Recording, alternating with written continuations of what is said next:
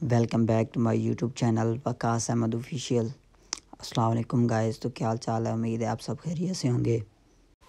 तो आज की वीडियो में आपको आईफोन की टिप्स और ट्रिक्स के बारे में बताने जा रहा हूँ कि जिनके इस्तेमाल करते हुए आप अपने आईफोन को थोड़ा इन्हेंस और बेहतर बना सकते हैं। तो चलते हैं वीडियो की तरफ़।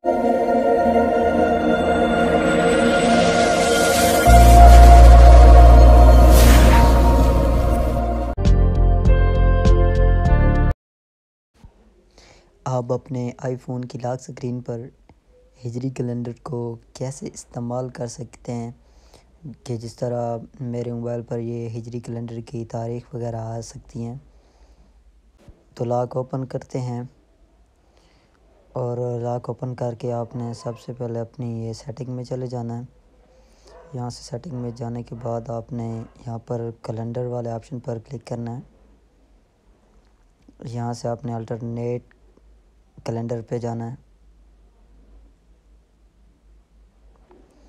यहाँ पर जाने के बाद आपने यहाँ से चूज़ करना है कि आप कौन सा कैलेंडर इस्तेमाल करना चाहते हैं। मैं, मैंने ऑफ़ कर दिया तो अभी देख लें।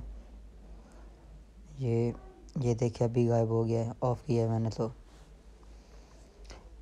अब यहाँ से चाइनीज़ और ये दूसरा जो है, इस तरह आप कैलेंडर इस्तेमाल कर सकते हैं इस्लामिक। तो जो आप इस्तेमाल करना चाहें। इसी तरह आप जो भी कैलेंडर इस्तेमाल करना चाहें, इन तीनों में से आप इस्तेमाल कर सकते हैं। तो मैंने इस्लामिक चूज़ क्योंकि मैं मुसलमान हूँ तो मैंने इस्लामिक चूज़ किया है। तो आप इसी तरह इन तीनों कैलेंडर में से कोई भी कैलेंडर इस्तेमाल कर सकते हैं। तो अभी चलते हैं ट्रिक नंबर टू की तरफ़।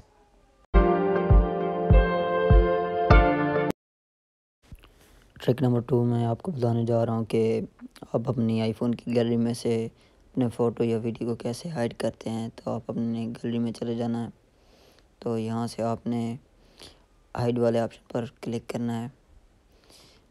तो ये हाइड फ़ोटो आपने कर देना है। यहाँ से ये फ़ोटो हिडन हो गया।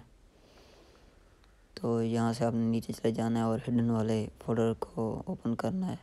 तो यहाँ पर ये शो हो रहा है हिडन वाला फ़ोल्डर तो अगर आपने ये भी गायब करना है तो इसकी भी एक ट्रिक है। आपने अपनी सेटिंग में चले जाना है। सेटिंग में जाने के बाद आपने यहाँ से फ़ोटोज़ ढूंढना है। फ़ोटोज़ ढूंढ के आपने फ़ोटोज़ में चले जाना है। और नीचे ये हिडन वाले ऑप्शन जो, ये जो आन है, इसको ऑफ़ कर देना है। ऑफ़ करके ये अभी गैलरी में शो नहीं होगा। ये हिडन फोल्डर शो नहीं होगा। तो यहाँ से आप, आपकी फ़ोटो हाइड हो जाएगी। तो जब भी आपने वो फ़ोल्डर देखना हो तो यहाँ से हिडन फोल्डर वाले ऑप्शन को फिर से ऑन कर देना है। तो ये ऑन हो गया तो फिर से ये फ़ोल्डर शो होने लग जाएगा। जब आपने हिडन फोल्डर को देखना हो तो आप देख सकते हैं और हाइड कर सकते हैं इसी तरह। क्योंकि अब आपने हिडन फोल्डर गैलरी में देख लिया है तो फिर से इसे ऑफ़ कर देते हैं और चलते हैं ट्रिक नंबर थ्री की तरफ़। ट्रिक नंबर थ्री में बताने जा रहा हूँ कि आप अपनी मोबाइल स्क्रीन रिकॉर्डिंग में, स्क्रीन रिकॉर्डिंग के अलावा अपनी आवाज़ को कैसे इस्तेमाल कर सकते हैं? यहाँ से आपने अपने मोबाइल को नीचे की तरफ़ स्क्रॉल करना है और उसे दो सेकंड प्रेस करके रखना है। तो यहाँ पर माइक्रोफोन ऑफ़ है तो इसे ऑन कर देना है, फिर आपकी स्क्रीन रिकॉर्डिंग में अपनी आवाज़ भी शुरू हो जाएगी। अभी इसे ऑफ़ कर देते हैं क्योंकि मैं माइक इस्तेमाल कर रहा हूँ। तो चलते हैं ट्रैक नंबर फोर की तरफ़। ट्रैक नंबर फोर में बताने जा रहा हूँ कि आप अपनी वॉइस रिकॉर्डिंग में शोर को कैसे ख़त्म कर सकते हैं और वॉइस को कैसे इन्हेंस कर सकते हैं। तो आपने अपने वॉइस मेमोज में चले जाना है। यहाँ पर जाने के बाद मैंने अपनी वॉइस रिकॉर्डिंग की हुई है। तो ये एक बार सुन ले पहले।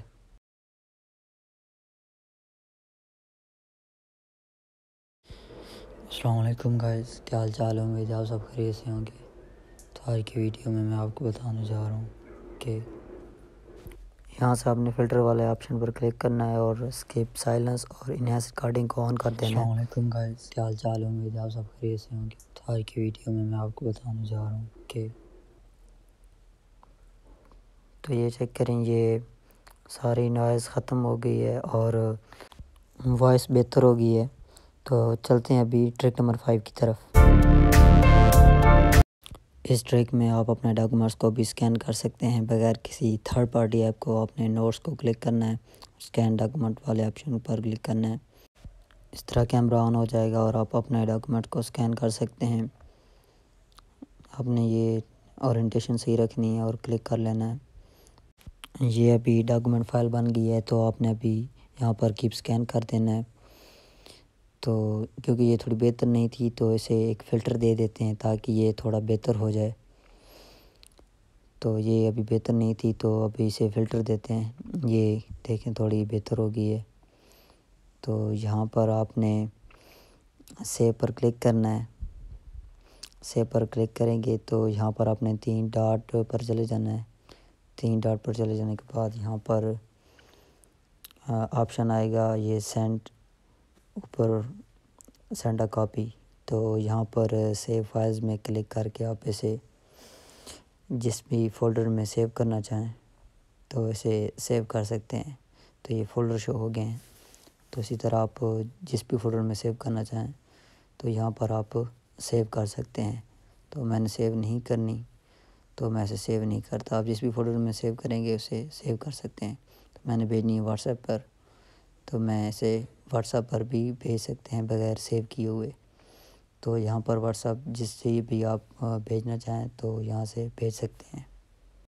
उम्मीद करता हूँ मेरी आज की ये वीडियो आपको पसंद आई होगी। अगर पसंद आई है तो वीडियो को लाइक कर दें और चैनल पर पहली बार आएँ तो चैनल को सब्सक्राइब कर लें और बेल आइकन को दबा दें ताकि मेरी हर आने वाली नई वीडियो आप तक सबसे पहले पहुँच सके। अल्लाह हाफिज़।